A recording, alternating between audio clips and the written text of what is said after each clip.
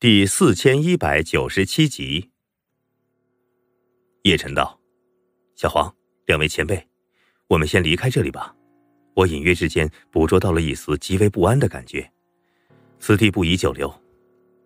天机捕捉之下，叶晨总感觉此地非常危险。如果再逗留下去，说不定会发生什么不测。”北蟒霄微微颔首，似乎发现了什么。应该是魔祖吴天快到了。我们赶紧走吧。叶晨惊道：“魔祖无天，难道他要来？”原来这股危机的感觉，居然是魔祖无天所带来的。北莽萧凝重道：“我们夫妇降临于此，已经被魔祖无天察觉，他不会轻易放过我们。”叶晨道：“前辈与魔祖无天有恩怨吗？”北莽萧道：“倒不是恩怨，只是我梦魇神族的祖地。”在玄海边缘，魔祖无天一直想找到进入玄海的办法，所以曾经多次发信给我们，威迫利诱，想逼我们说出玄海的进入之法。叶晨心中一动，道：“玄海。”北莽萧道：“正是。黑暗近海除了外海、内海之外，还有一个玄海，传说是红军老祖的一滴眼泪所化，无比神秘。”我梦魇神族的祖地便在玄海的边缘，但具体如何进入，我也不知。我们祖地只是在海边。叶晨道：“魔祖无天此人喜怒无常，还是不要轻易的招惹他。我们走。”说完，叶晨等人御风离去。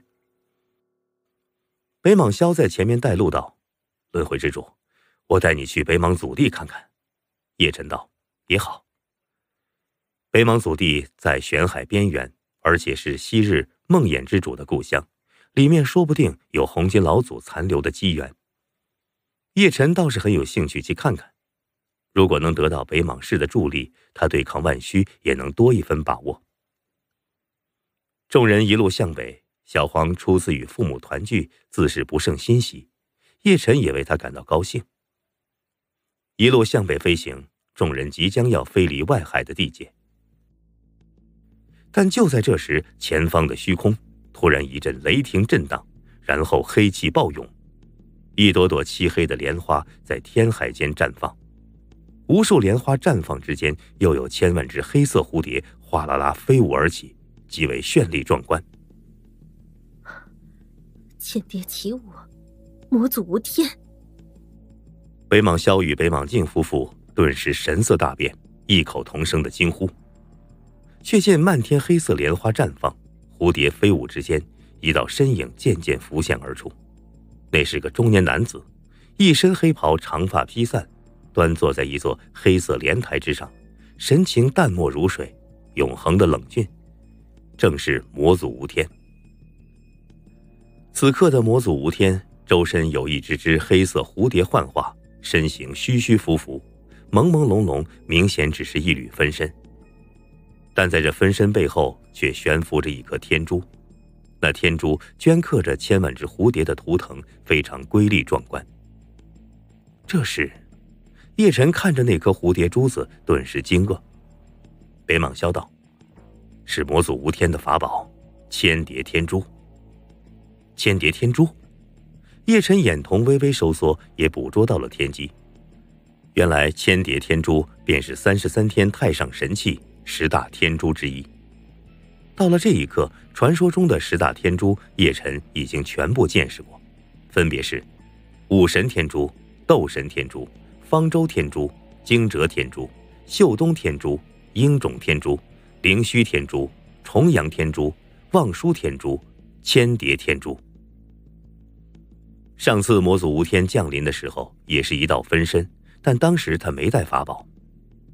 而这一次，魔祖无天居然动用了法宝，明显来意不善。魔祖无天嘴角带着冷漠的笑意，扫视全场，望了望叶晨，又望了望北莽萧夫妇，最后他的目光落在了北莽萧身上，笑道：“北莽萧，好久不见。”话音落下，魔祖无天身后风暴震荡，一道道强大的身影浮现而出，足足有数万人。这数万人大多身穿黑色铁甲，威武腾腾，显然是旧日盟大军。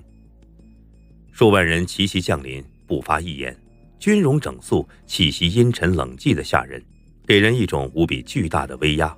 在旧日盟大军前是十几个旧日盟的高层或重要人物，遮天魔帝、羽皇亚飞、红轩等人都在其中。叶辰刚与遮天魔帝道别不久，此时又重新见到他，两人四目相望，都是沉默。遮天魔帝身不由己，甚至想给叶辰暗中提示，但最终都被吴天破坏。现在他们立场不同，阵营各异。却是不能随便交谈，而现在魔祖吴天降临，明显不是冲着叶辰来的，而是冲着小黄的父亲北莽萧而来。北莽萧的修为达到百家境四层天，而且执掌着翻天印，实力着实强悍。魔祖无天真身不能轻易降临，因为旧日法则与当今时代冲突，一旦离开旧日盟的道场，他会无比难受。所以，他降临下来的只是一道分身。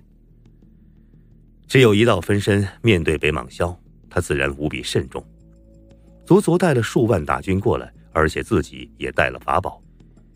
北莽萧看到那数万大军已经铁桶般的将他与叶辰等人围住，顿时目光一沉，道：“魔祖无天，你想做什么？”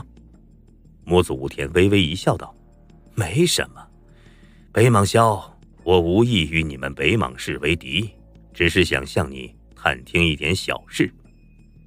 北莽萧道：“什么事？如果你想问进入玄海之法，我还是那句话，我也不知。”魔祖无天道：“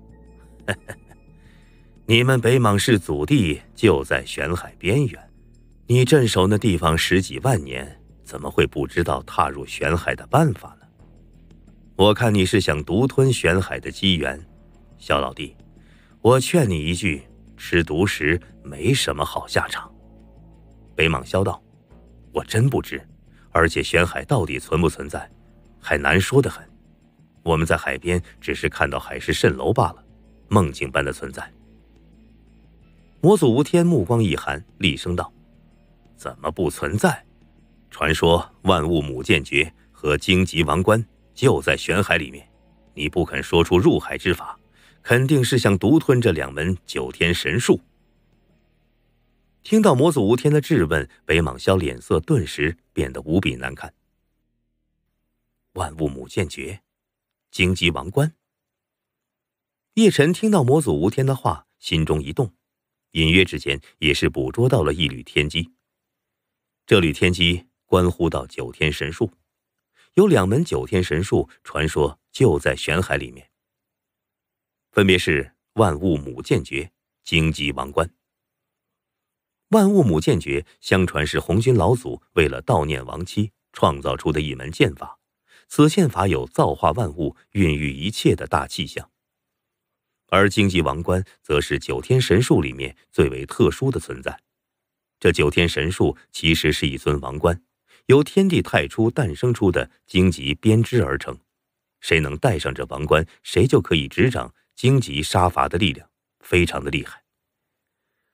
而传说万物母剑诀和荆棘王冠都在玄海之内，玄海里蕴含的机缘可想而知有多么的丰厚。如果谁能踏入玄海，并能得到那两门九天神术的话，足以逆天改命。九天神术一共就只有九门。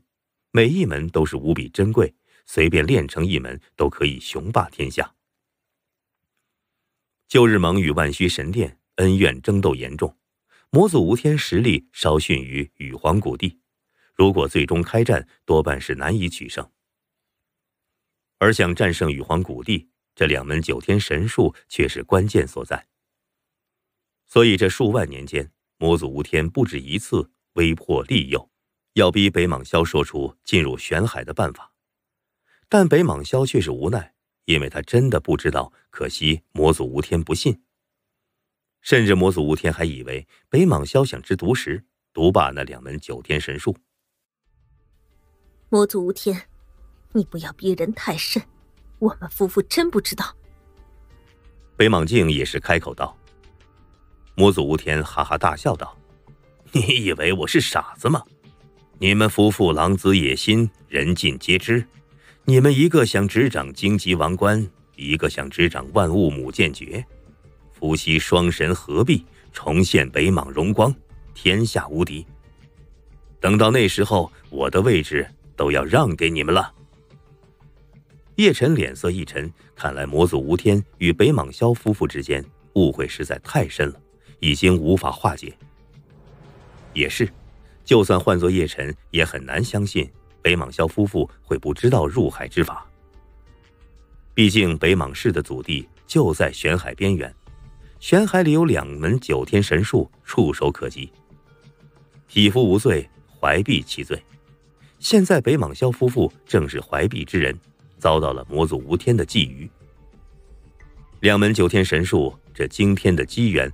没有人能够抗拒，像魔祖无天这种高手，当世排名前三。一般的武道神通、兵器法宝，对他已经没有任何的提升作用。